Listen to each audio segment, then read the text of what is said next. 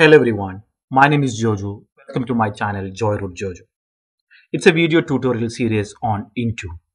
In our previous videos, we have learned how to enroll automatically enroll devices into Intune. What are compliance policy? What are conditional access policy? How compliance policy work along with conditional access policy? And how to how to onboard the defender for endpoint to the devices so all the all that we have covered in our previous videos. If you have not watched yet, please check the description or the end screen. You can watch all those videos. And please watch those videos first before watching this video. And as usual, if you like it, please do subscribe and like the video. And if you have any questions or suggestion, please mark it in the comment section. Alright. So in this video, let us learn what are configuration profiles in Intune what is configuration profile in Intune? I want to help you to understand the concept of configuration profiles in Microsoft Intune. It's important that you are going to handle an environment of different users and devices and the configurations that are going to be out there. You have to think about the requirement of your company. What is it you are trying to achieve?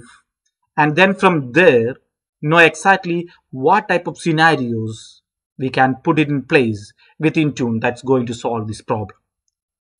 And I think configuration profile is going to be a huge helper when it comes to this. But first of all, what is configuration or what are configuration profiles? Configuration profile that are probably one of the most powerful thing we have in regard to controlling things in our environment. Just like you know, uh, when Windows NT came came out back in 90s and they came out with the concept of policies. And then when Windows 2000 came out in the year 2000, they introduced GPO, Group Policy Object. And that was, you know, flat out probably most powerful thing we had as an administrator in Microsoft domain for controlling configuration settings on people's machines. We could enable, disable things, but of course, that was always geared towards Windows and Windows based systems. And Intune, as you are aware, it, it is not just a Windows based system. It works with Windows, it works with Apple, it works with Android, and you know, they move to the Linux supporting in certain aspect of it. And we need to be able to have a solution that are going to allow us to manage the different type of settings and parameters and you know options that are going to be available for users within that devices and within that operating system. This is exactly what configuration profile bring to the table. All right. So the idea here is that i can create these things called configuration profile and they can be created for different type of devices. And in your operating system like ios ipad os android Windows, all of that. And then I can assign the configuration profile to the users and the devices that I want this to go out to. So ultimately what happens is those profile settings get deployed out to my devices and I can monitor the devices to make sure that the profile settings and all that have gone out properly. Alright, so let's talk about some of the usage examples here. As part of your mobile device management, MDM solution, use these configuration profile to complete different tasks. Intune has many templates that include group of settings that are specific to a feature, such as certificate, VPN, email, and more.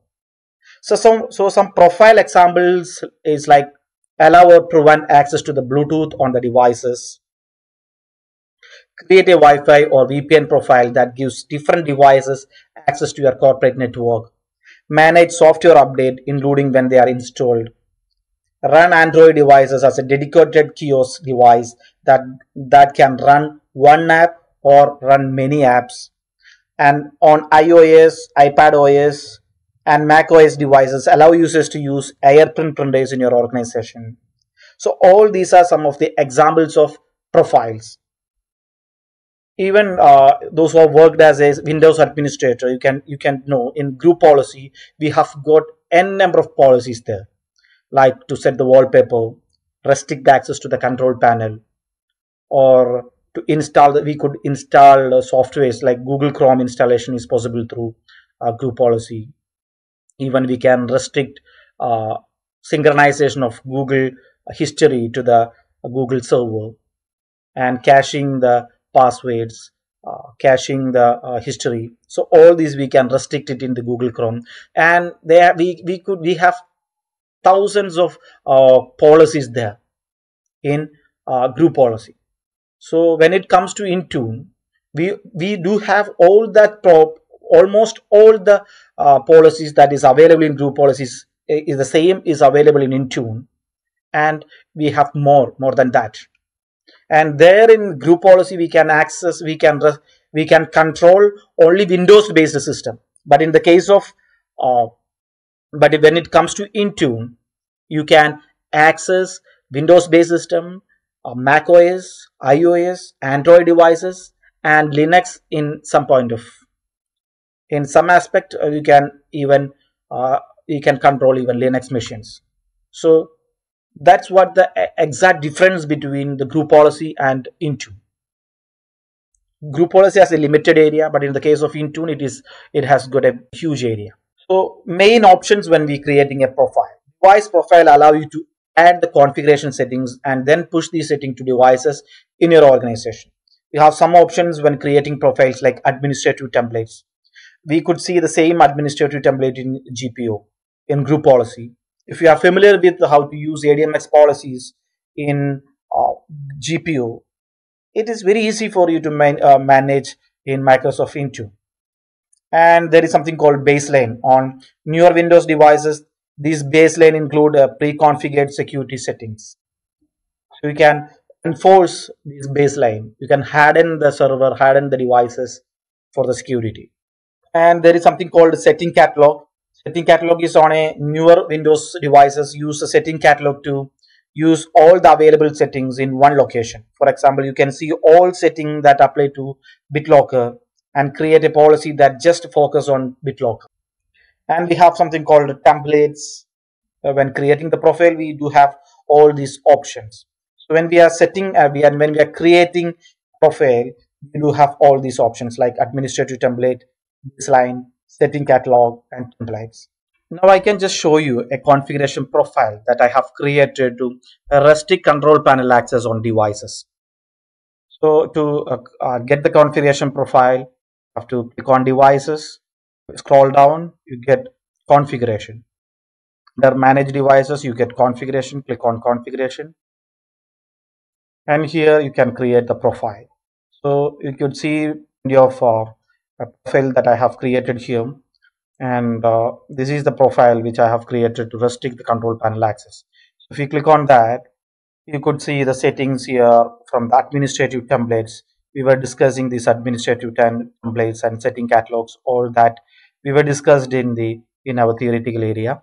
So now when it comes here so from the administrative template what i have done i have uh, automatically shows that option there prohibit access to the control panel is a setting so we have enabled it. We, in the coming video we will see the practical uh, part of uh, configuration profiles much more deeper. Then goodbye